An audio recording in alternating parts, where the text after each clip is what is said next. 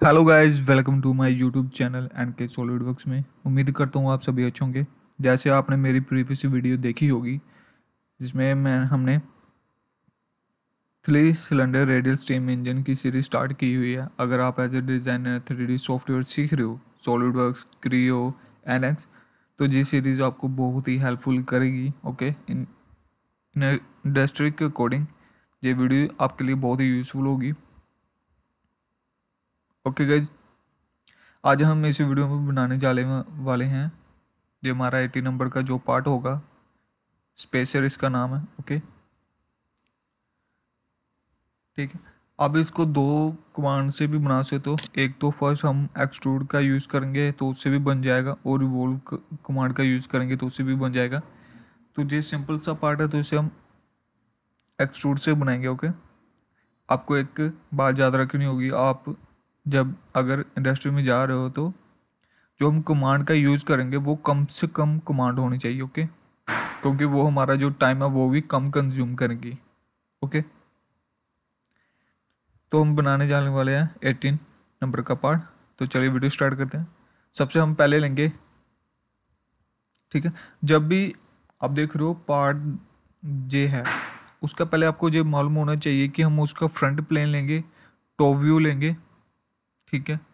या right plane लेंगे ठीक है? ओके इसमें हम टॉप प्लेन लेंगे, ठीक है? जैसे हम टॉप प्लेन सेलेक्ट करते हैं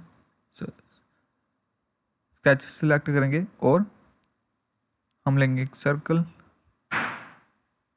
वन टू आप देख सकते हो ये नाइनटीन डाया का और थर्टी वन डाया का। तो जो बड़ा वाला सर्कल होगा वो थर्टी वन का होगा। ओके।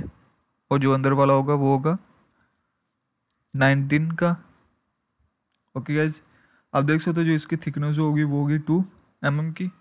तो हम फीचर्स में जाएँगे एक्सट्रूड बॉस में। ओके। तो हम इसकी जो वैल्यू है, वो टू कर देंगे। ओके गाइज़ जो हमारा स्पेस जो है, बन चुका है। ठीक है? आप देख सकते हो। ओके? इसमें जे लिखा हुआ है बी एम एस ठीक है? जे मैं आपको क्लियर कर देता हूँ बी एम एस का क्या मतलब होता है? जैसे हम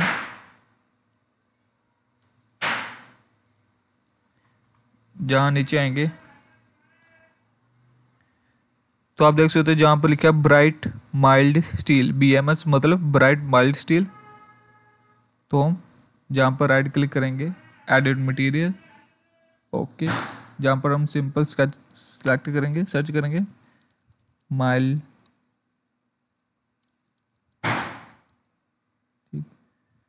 सॉलिडवर्क्स मटेरियल में। स्टील। ओके। जैसे आपको मतलब मालूम होगा, जो कार्बन स्टील होता है, वो हमारा माइल्ड स्टील होता है तो हम कार्बन स्टील अप्लाई क्लोज। ये आप देख सकते हो, जो हमने कार्बन स्टील, जो माइल्ड स्टील है, मटेरियल अप्लाइड कर दिया। आई होप वीडियो आपको अच्छी लगी हो।